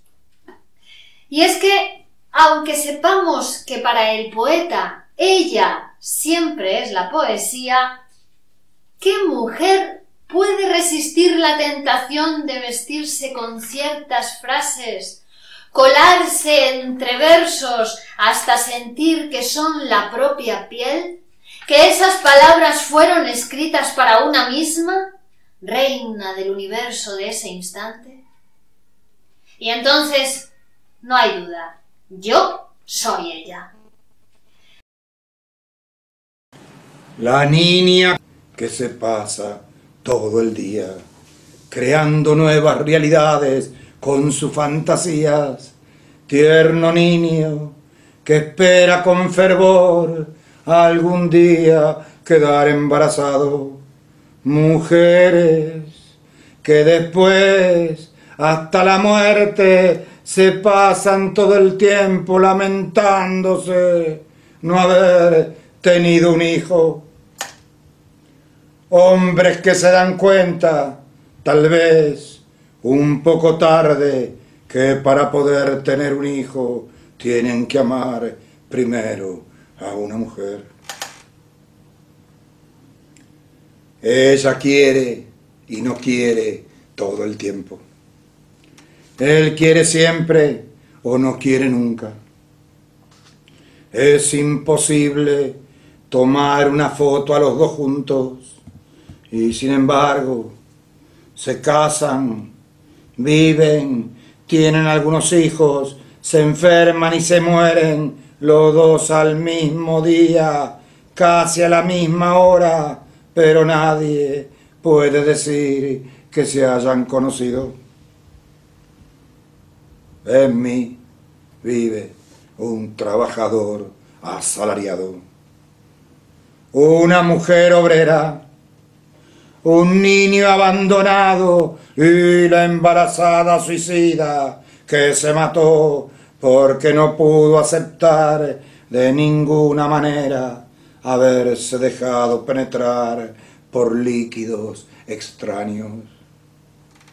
El hombre aquel que no quiso arrodillarse, que caminaba tieso para no doblegarse, sincero como nadie, verdadero siempre, murió a mediana edad, paralizado y solo. Y el dictador, soberbio y despiadado, que me obliga todo el tiempo a matar, enajenar, despedazar o pervertir todo lo que no piensa como piensa él. Y después, en el mundo, solo viven sus sueños. Esos días, cuando el tirano me doblega, no existe la belleza, ni el rubí, ni la flor, ni el amor, ni el odio, ni siquiera el poema. Todo el goce, todo el placer que existe, nadie puede gozarlo sino el tirano. Y para mí solo queda soñar, soñar intensamente que algún día, cuando el tirano muera, podré vivir en libertad, conocer el amor. Pero ya será tarde. Si espero para sentirme libre que el tirano muera, al morir el tirano me daré cuenta que el tirano soy yo. Tengo también conmigo la pordiosera joven, que no quiere por nada del mundo trabajar, y el médico comprensivo que vive intensamente todas las enfermedades, aún las que no existen. Y una bujía loca que se enciende y se apaga sin tener en cuenta las estaciones, ni mis estados de ánimo, ni las guerras. A veces, cuando intento amar en las penumbras, la bujía se enciende iluminando todo con locura. Lo que quería ser secreto se hace público y tampoco nadie le encuentra explicación. Y a veces soy la mujer sembradora de todas mis desgracias, de todos mis fracasos. Quiero que alguien me ame, pero no quiero amar. Quiero vivir como una reina, pero no tengo rey. Y cuando me empobrezco por haber creído tener lo que no había y no tenía nadie, quiero que el mundo todo sostenga mi locura, que es precisamente vivir sola en el mundo. Y cuando mi amado venga a preguntarme qué hice con nuestro amor grandioso, yo le diré, no me di cuenta, no me di cuenta que lo nuestro era amor. No me di cuenta que las plantas se riegan. No me di cuenta que un bebé necesita el calor de una piel y ser amamantado.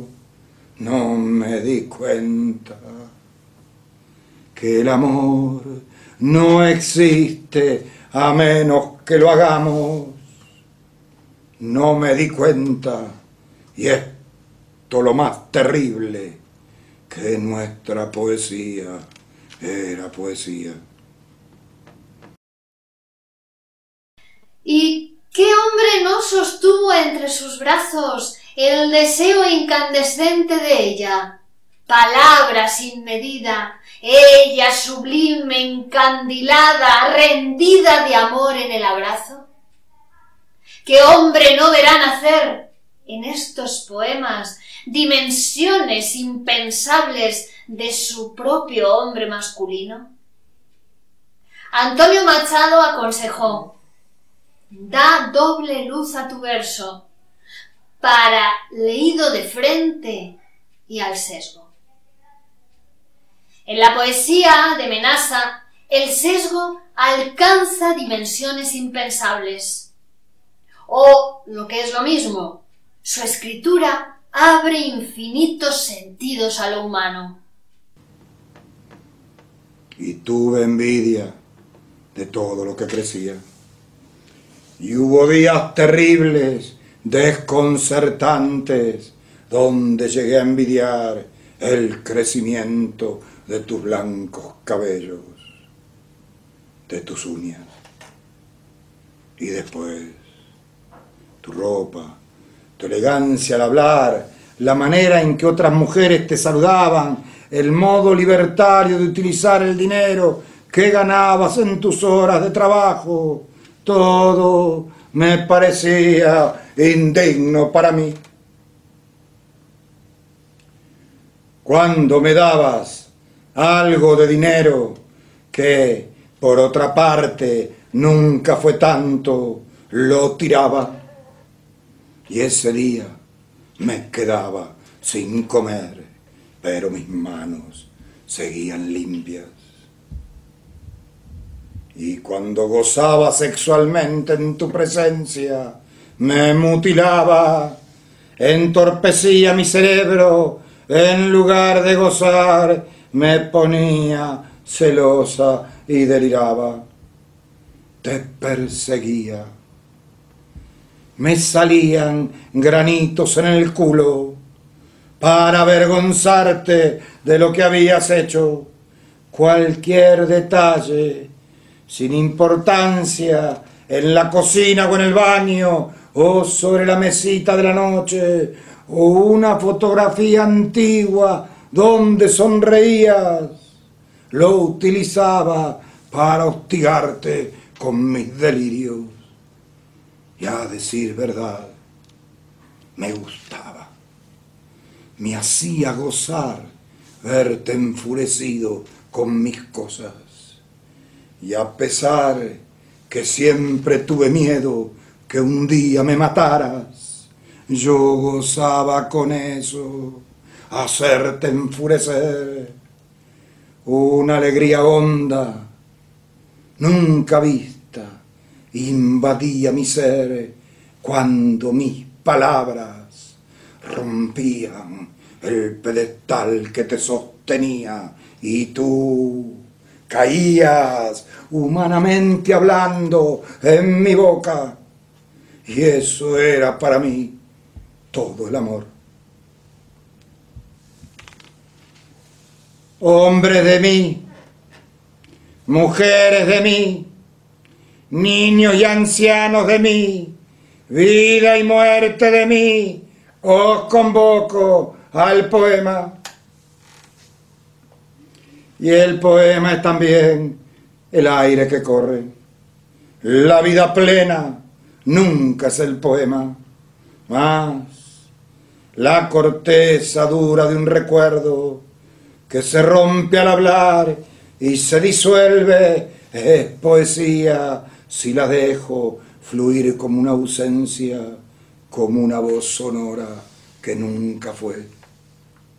Y el amanecer es poesía cuando el sol surge desde los senos ardientes de mi amada. Y hasta los senos de la amada nocturna son poesía cuando su desnudez entrelaza lo humano y lo divino. Sexo de fuego que se fue haciendo agua agua molida a palos que se fue haciendo amor. Además, la poesía tiene el don de combinar alegremente lo bello con lo feo, lo muerto con lo vivo, el dolor con la risa, el corazón ardiente de una noche de fiesta con la serpiente alada que no puede morir. La poesía es capaz de combinar el astro sol con la soberbia de un candil apagado.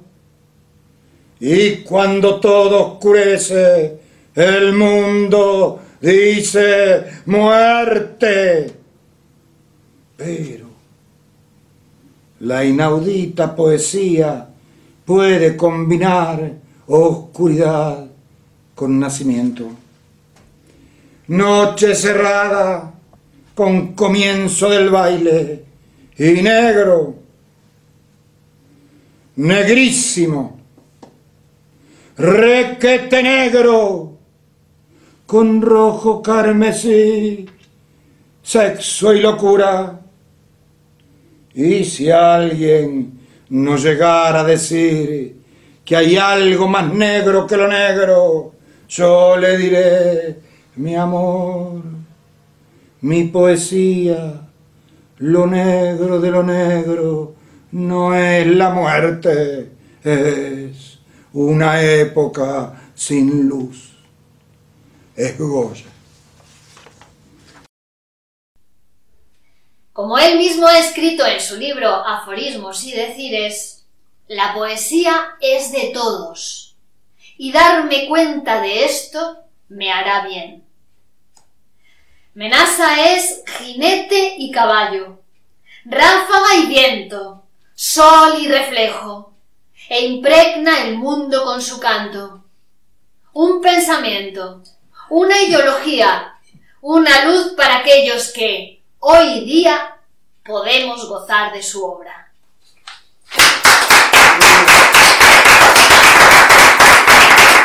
Es un texto de Carmen Salamanca. Es un escrito de Carmen Salamanca. Que este- se leyó en el Centro Municipal de Salud Sí. de la calle Santiago 13 en Alcalá de Henares ¿Qué te pasa? No, digo, me estaba diciendo que es un texto de Carmen Salamanca. ¿Y antes? Y antes me pasaba una disquisición entre la condensación y el desplazamiento, en tanto quería entender lo de la imagen. ¿no? Ni condensación ni desplazamiento. En la condensación y el desplazamiento llevan a la metáfora. Llevan a la metáfora. ¿no? Sin condensación y sin desplazamiento. Una creación. En el sueño, a veces pasa una imagen que no se puede traducir como metáfora como metanimia.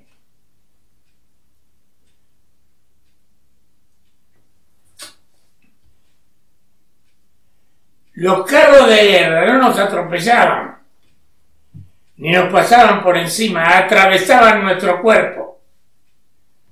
Porque si nos pasaban por encima es metáfora, sí, ¿eh? Pero no, los carros de guerra atravesaban nuestro cuerpo. ¿Cómo lo traducí?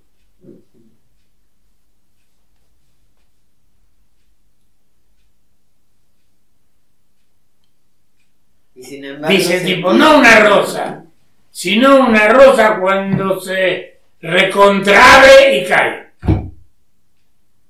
¿No? Entonces, utilizó la rosa de una manera diferente. Ya no es una mujer la rosa, es la vida. No, es un tipo interesante. Lo que pasa es que como es chabacano, le guiña el ojo al, al micrófono este para, que, para conquistar a alguna chica.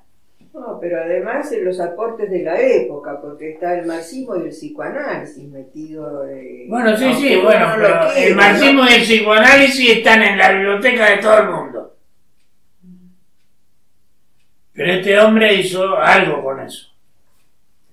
Todo el mundo le dio a Ungaretti, a Dino Campana, a Aragón, a Bretón, a Alvar, ¿no?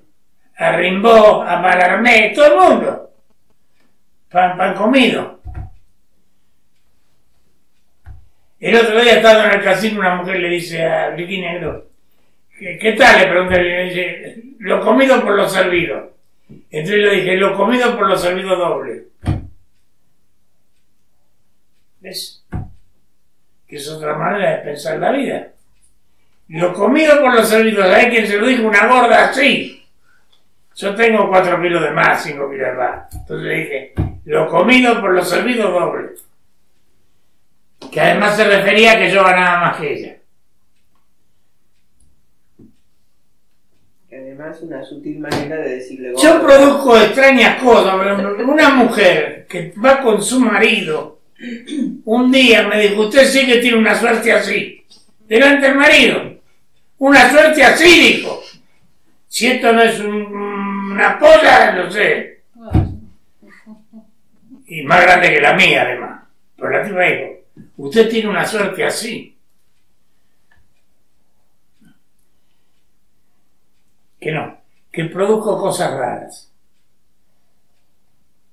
A veces a mi favor, a veces en contra.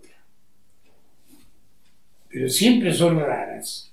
Bueno, nosotras no somos tan raras. ¿Cómo? Nosotras no somos tan raras. No, Bueno, ustedes son bastante no. raras. ¿Así? Para ti no, pero para Son bastante raras, son inteligentes. Claro. Claro. Además han leído un montón de libros, tienen un montón de pensamientos en la cabeza. Son bastante especiales. Bastante especiales. El realismo psíquico, perdón, ¿no? Pero el realismo psíquico tendría algo que ver con el concreto de pensamiento. No, A ver, No. no. Concreto de pensamiento es el momento donde el pensamiento se hace material, que es en el proyecto. Cuando yo proyecto una mesa, ahí están, entonces, para más, ahí están unidos el pensamiento y la cosa. y la cosa. Sí, total, totalmente. Pero cuando proyecto la mesa. No. No, el realismo ciego tiene que ver con la aceptación de que todo lo que hago, todo lo que digo y todo lo que escribo y todo lo que amo es doble. Es lo que yo digo que es y es lo otro. Todo, todo lo que hago. Porque a veces, cuando hablamos del feminismo, rescatamos a Madame Curie y decimos, ¿por se llama como el marido? Bueno, pero el agujero que hizo el marido a Madame Curie no se lo hizo ninguna mujer a ningún hombre. Descubrió todo ella. Eh, tuvo la cátedra de la universidad antes que él. Tuvo- le ganó en todo. Así que, ¿qué le importa a ella llamarse Madame Curie? Hay en mí un pintor que no le teme a nada, ni a hombres ni a mujeres, ni a color alguno, ni a trazos, ni a distancias, ni a figuras lejanas, ni al rutilante negro de la muerte. Mi verdadera revolución acontece en el lienzo, cuando un color que no se debe se mezcla con belleza, con un color que no se puede.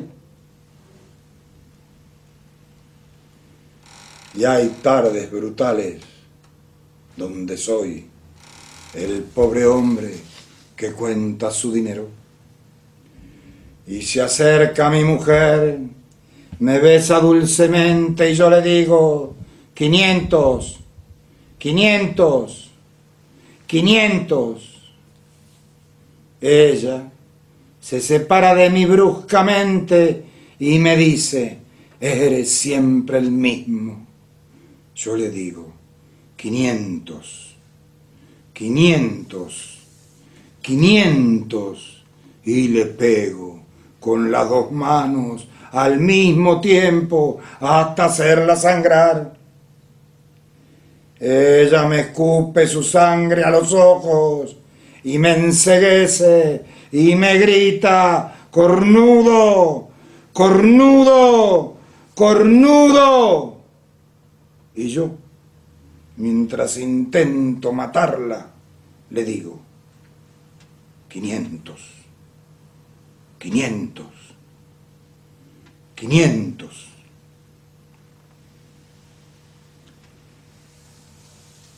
Hay en mí el hombre de los negocios importantes, de los triunfos que nunca se realizan.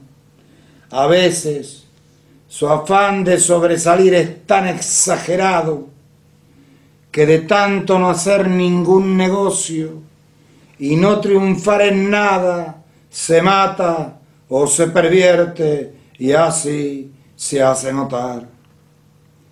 Y al mirarse al espejo y sin salir nunca más de su celda, se siente un hombre de negocios, un triunfador.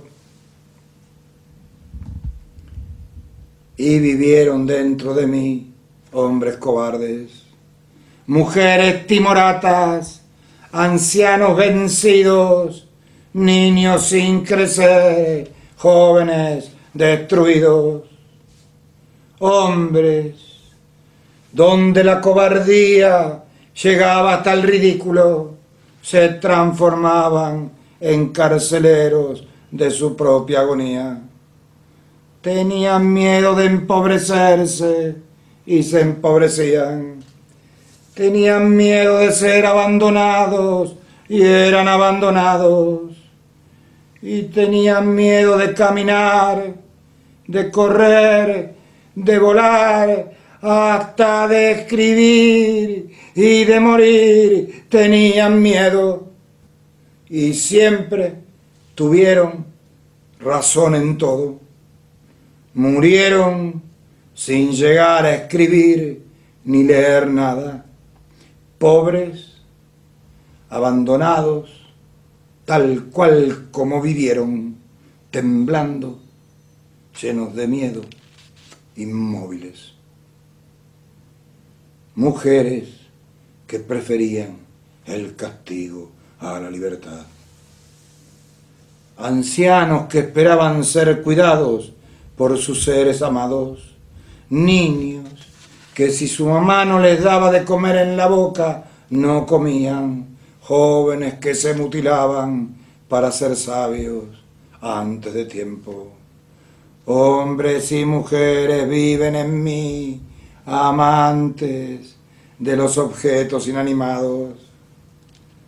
Para ciertas mujeres hay ventanas, tardes de verano, recuerdos infantiles, sedas naturales y refrescos más importantes que su hombre amado. Para ciertos hombres, sus dineros, alguna piedra ornamental, algunos distintivos son más importantes que su mujer no amada. Yo soy el profesor de matemáticas que no sabe sumar. La luz desgarradora de un rayo vencido sin tormenta. El porvenir sin hombre, el amor sin mujer, el cielo totalmente azul y sin estrellas apagado. Soy al mismo tiempo eso que permanece y esa nada que sobra.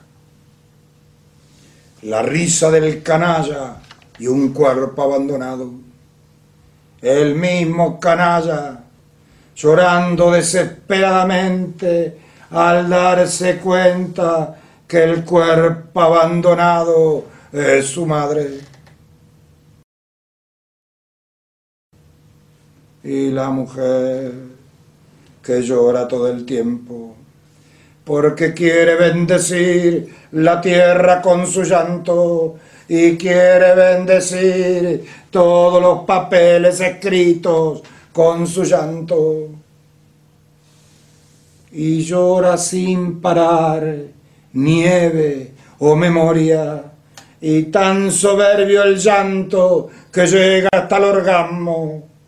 Llanto desafinado entonces, lágrimas saltando con fervor, músculos endurecidos cerca del estallido, sangre marcando el compás a velocidades supersónicas, carne y basura, símbolo y cielo, estallando al unísono, mas sin que nadie pueda constatarlo, ni ella misma es capaz de decir lágrima o sueño, burbuja o realidad, perfecto manantial que fluye permanente o goteo interminable de un grifo imperfecto que sin saber nada del agua la retiene, como me pasa a mí con la mujer a veces. Sin saber nada de ella, quiero que sea mía. Sin conocer los secretos de su piel, quiero que el goce nazca en ella, haciendo el ademán de acariciarla. Y ella, la que nadie pudo conocer, ni aún tratándose del viento o Dios, decide que el cantor ha de tener su presa.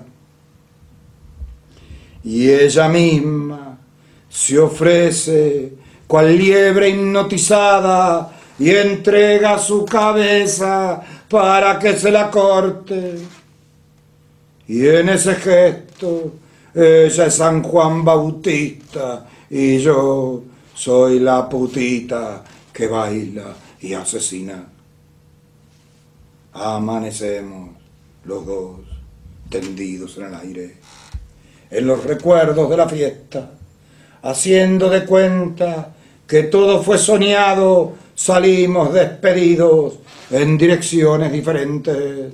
Yo me dejo llevar por el sonido del sol y volando me incendio, me hago llama. Ella se deja llevar por la atracción de la tierra y conoce por fin el centro mismo de su cuerpo.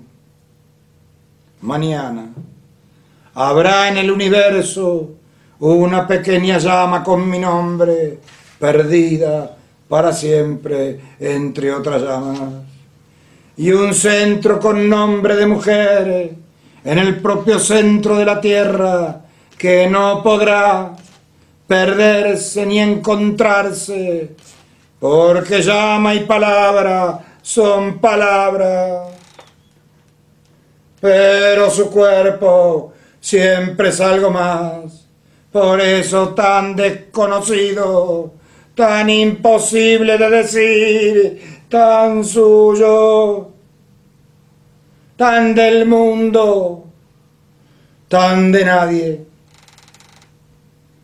Hay en mí un soldado de la libertad, que es el mismo soldado que defiende mi pan, el mismo que se enamora antes de partir, un soldado en plena libertad, con un pan en sus manos y enamorado, no hará la guerra, no, ni matará a nadie por la espalda, ni violará, ni robará al vencido, y entonces ya no será soldado y terminará sus días en la cárcel por haberse negado a matar a niños desarmados jugando en la vereda.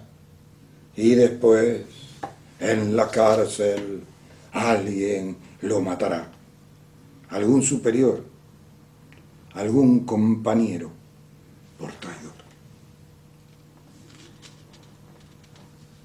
Y hoy, en estos días del año 2002, hay un nombre en mí que al levantarse dice, la poesía la harán otros, otros harán todo el trabajo, otros comida y agua proveerán.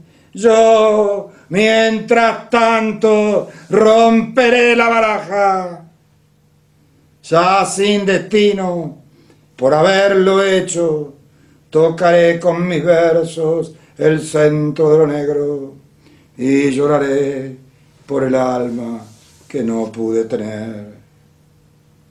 otros harán la guerra y el amor, otros harán la locura y el tiempo, yo mientras tanto seré mi propia creación. He de morir un día y un día he de vivir. Y cuando mis manos pierdan la alegría, morirá un poeta. Y es una casa limpia la que ambiciono para el lejano y cercano día de mi muerte. Una casa vacía, sin puertas, sin ventanas, sin nadie que quiera tomar el sol, el aire, mis seres queridos, preparando la fiesta y a mi lado, dejándome morir el rugido inmortal de los cien mil poetas que hicieron de mi vida este cantar.